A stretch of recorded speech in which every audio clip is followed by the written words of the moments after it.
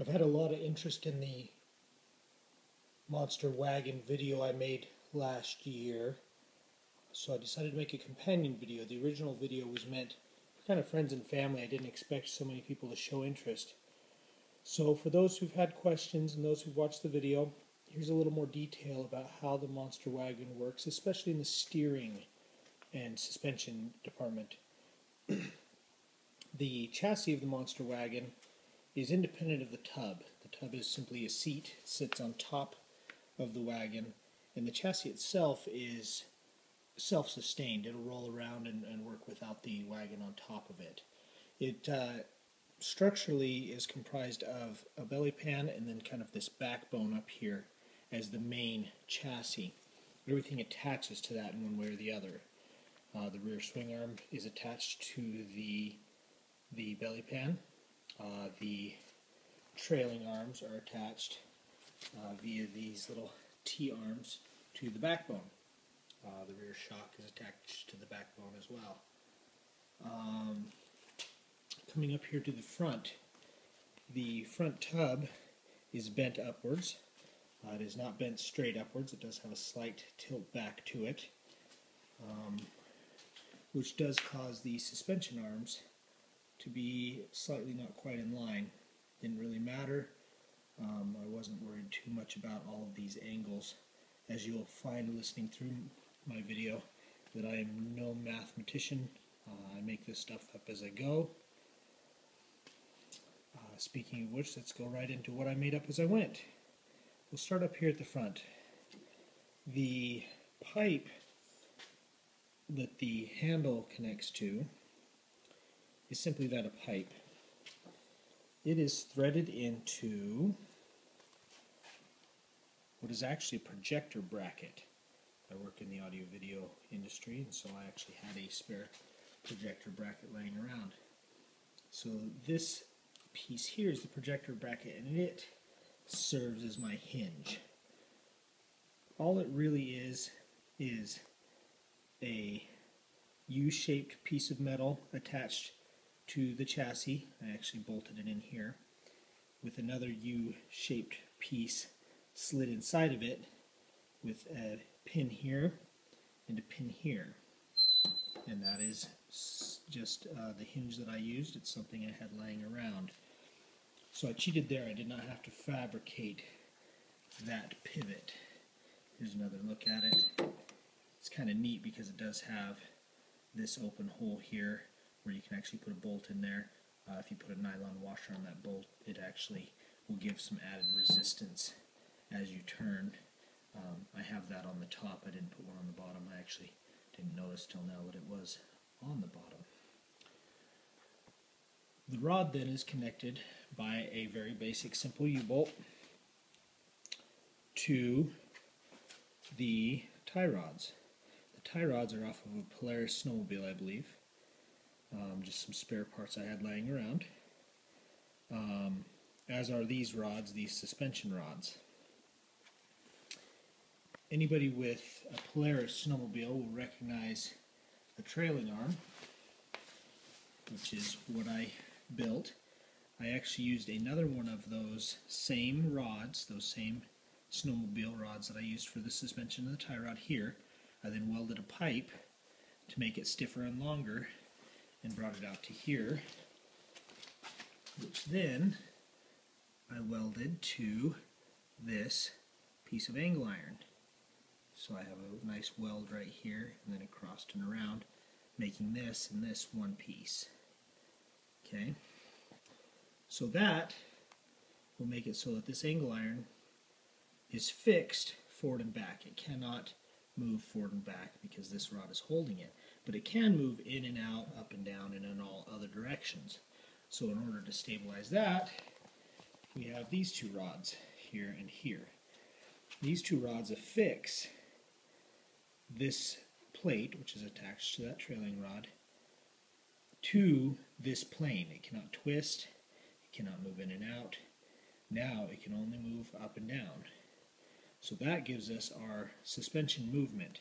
We're held forward and back by the rod going down, and we're held in and out by these two rods and prevented from twisting. then we have the steering rod here led up to the U-bolt. That is everything that is coming down to here. This plate has affixed to it two more pieces of angle iron here and here. These are the bracket for my spindle to slide into. My spindle is simply a piece of pipe with another, I believe brass or copper, I can't remember, piece of pipe inside used as a bushing. There's the proper word, sorry. That bushing is slightly longer than the pipe, than the spindle. Um, and that way when you put this bolt in here, bolt you see the nut on the bottom, uh, and clamp it down, it clamps down on the bushing, allowing just the tiniest bit, and I don't even think we'll feel it here, of slop. So that this pipe, the spindle pipe, is not pinched. It can then move freely on the bushing. Um, the bushing does have lube on it. I believe I just used some wheel bearing grease um, so that it moves uh, fairly smoothly. Then to this spindle pipe, I built the rest of my spindle. I welded a flat piece of metal out for my tie rod to bolt to, and that is what the tie rod moves in order to turn the wheel. And then here I welded a bolt, just a large bolt that I could place this nut on. The wheels I bought have their own bearings inside, so the bolt does not need to spin. The wheel takes care of all that. So that is how I homemade the spindle. Then from our tie rods we come back up to our main steering rod here. I use this U-bolt as I pointed out earlier and one thing that I like about this design is if we look at it, let's look at it from down here, you'll notice that the suspension arms and the tie rod are not parallel. And what I found is as the suspension moves through its travel, everything changes in distance. So the distance from here to here, for example, changes. So what that does is, as you go through the suspension travel, it'll cause the wheel's toe to change and relative to each other. And so you might have zero toe, or the tires perfectly parallel with each other, um, in a resting position, but then as the suspension goes through, the tires will be pushed or pulled inward and outward because the angle is wrong. Now, what ended up working out really well is using this U-bolt I can slide these up and down and that effectively changed how that toe worked and so I moved it in and out I originally started with it I believe a little farther down and when it's farther down it takes more travel to turn the wheel but um, it also changes the angle these rods become a little longer because this point they don't actually physically become longer, but it feels like it because this point is closer than this point is. So when I moved from here to here, I changed my toe. But just changing the toe doesn't change all the angles. So you can't simply thread the rod, is what I'm saying. Threading the rod to change the toe doesn't change the angle, but moving the bolt does. So by moving the U-bolt out, I can change how the tire tracks through the travel. I was able to come up with a fairly happy medium. As far as the rest of the chassis goes, can't think of too many other tricks I had. Um, as I built the rear suspension, I ended up originally laying the shock down too flat, meaning that this angle was too similar to the angle of the swing arm. And that changes the progressiveness of the spring.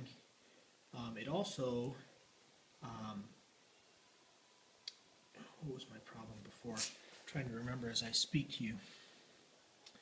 Anyway, I originally used, I can't remember what the problem was. I believe it was actually going over center. That's what the problem was, is when, this, when the swing arm completely bottomed out, it could actually get to the point where it went over center, meaning that the shock compressed all the way and then started to extend again as the as the swing arm bottomed out. So I had luckily made myself a nice bracket here and uh, had three holes to choose from. Originally I had it in the tallest position which lifted the wagon up, made it taller, uh, gave it longer suspension travel, but also caused it to be able to go over center. I ended up settling for the lowest setting, which uh, makes it impossible for it to go over center, and uh, made it so that the spring was slightly less progressive. And it, it's progressive in a bad way. Um, the shock actually does need to be even steeper than this. It's just too darn long. I got the wrong shock, I believe, for this application. Um, the progressiveness that I have is it's stiffest at first and gets slightly softer as it goes through the travel because this and this are becoming closer to parallel as it goes through the travel. They begin as out of parallel and then slowly parallel up as it goes through the travel. Um, so I would have probably done that a little bit differently uh, given the chance again. I probably would have actually had this mount be down here um, facing forward instead of pointing up, um, which would have dropped the back of the shock more and changed that angle. Um, but I just ran out of room and didn't need to redesign the whole thing. I was running out of time for the kids' Christmas. So that was a mistake on my part. I actually made a similar mistake up front. Um, originally, let me find the right angle.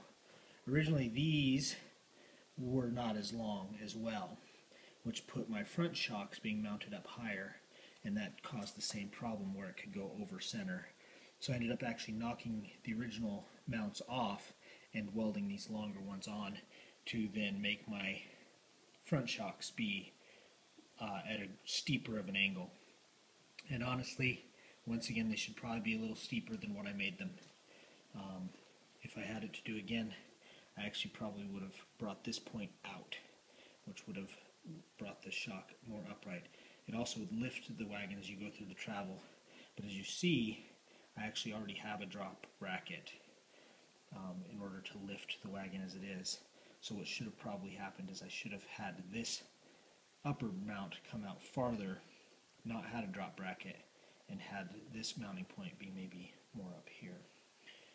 So once again, I uh, made a few mistakes on it, but I did make it up as I went. Um, if you have any questions, feel free to post them. I'll try to answer them as I can. I hope this does answer some questions. I'm sorry that I don't have very many proper terms. Like I said, I'm just some dude in a garage kind of winging this stuff. But uh, it's been a lot of fun, and I know there's a lot of guys out there doing the same stuff. So if I can help you, I will. Feel free to ask, and I'll give it my best shot.